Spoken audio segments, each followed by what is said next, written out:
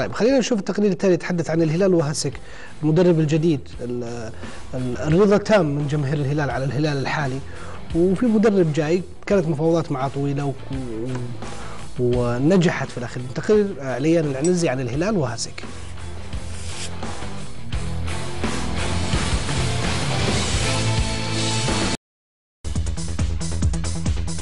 قبل فترة وجيزة كان وجود الألماني توماس دول لقيادة الدفة الفنية للهلال يشكل عائقا كبيرا في تطور الفريق الأزرق كما يرى الكثير من المهتمين بالشأن الهلالي. غادر دول وانتهت علاقته بالهلال. الإدارة الهلالية تتعاقد بشكل سريع مع تشيكي فان هاسك ليكون بديلا لسلفه الألماني. يتأخر حضور المدرب للإجراءات الروتينية المعتادة في مثل هذه الحالات. وتستعين الإدارة بمدرب الفريق الأولمبي الألماني هيكو يانونان في بقية مشوار الفريق في بطولة كأس ولي العهد. يتبدل حال الفريق وينتعش بروح ومهارة شبابه. فرغم افتقاد الهلال لأغلب عناصره المؤثرة من لاعبين أجانب ومحليين إلا أن الموجودين استطاعوا التفوق على كل هذه العوامل. وأخرجوا الغريم التقليدي النصر في الدور ربع النهائي ثم ألحقوا به الاتحاد في دور الأربعة ليصلوا للمباراة النهائية وسط إعجاب وثناء الجميع للمكنوز الهلالي الذي ظهر في ظل هذه الظروف. شباب استطاعوا تقديم صورة مذهلة للمنتج الأزرق. لكن ثمة أمر بات يقلق الجماهير الزرقاء وهو هل سيبقى حال هؤلاء النجوم بعد إشراف هاسك كما هو عليه الآن؟ أم أن العودة للفريق الأولمبي ستكون أولى قرارات المدرب التشيكي وحتى إن أبقاهم المدرب؟ هل ستكون طريقته الجديدة ملائمة لهؤلاء اللاعبين؟ وهل سيبقون في مراكزهم التي اعتادوا تمثيل الفريق فيها؟ كل ما يأمله عشاق الزعيم هو استمرار هذه الكوكبة مع الفريق للانسجام والمواصلة التألق. لا أن يتم إطفاء شمعة متقدة تقدم الإبداع وتثبت يوما بعد آخر أنها الكنز الحقيقي للموج الأزرق.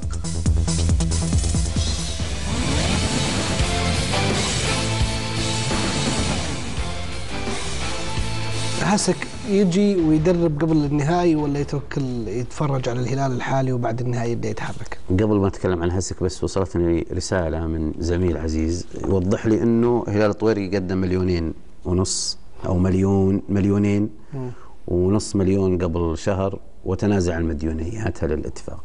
وأنا يعني أكد إني أنا لم أنقص من آه، يعني حبي وتقديري الطويري ولا اتفاقيته وأخلاصه. أنا قلت بس وين هو من الدعم؟ ولا لم أشكك هو هلال الطويري يظل يعني اتفاقي من رأسي إلى خمس قدمي ولكن أنا وضحت الصورة نشكر طبعا أبو خالد. بالنسبة للهسك آه نتحدث عن مدرب صاحب تجربة في المنطقة.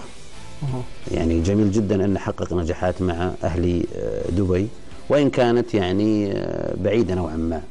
ولكن يظل مدرب يعني صاحب سي في محترم.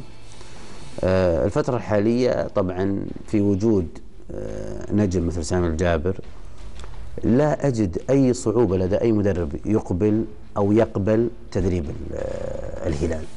لأن سامي حقيقة بيوفر له أرضية ومساحة من النجاح يعني مبدئية ودفع معنوية كبيرة جدا لمعرفته باللاعبين وأسلوب وطريقة ال- الطريقة المطلوبه لنجاح الهلال. وحدث هذا في مباراتين مهمات. يعني تؤيد إنه يبدأ الآن ولا ولا ينتظر شوي؟ والله شخصيا أنا أؤيد أنه يبتدي بعد نهائي الكأس. شخصيا يعني. محمد.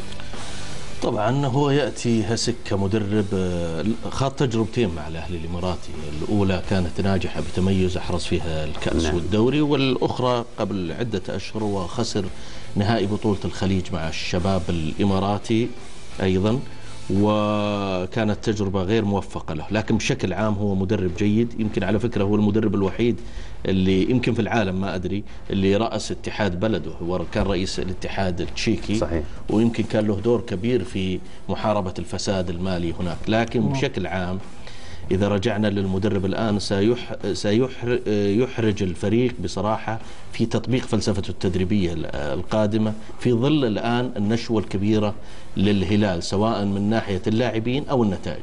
أنا أعتقد أو أتفق مع سامي في موضوع أن مباراته اللي قد تكون الجمعة بعد القادم في النهائي يفترض أن تترك لمدرب الفريق الأولمبي مع الكابتن سامي.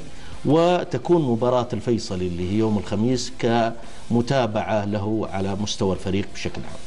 عموما وأنتم تتكلمون إحنا في ال- في شاشه مقسومة جزئين كنا نعرض آه، أهداف ال- ال- اليومين الأخيرة.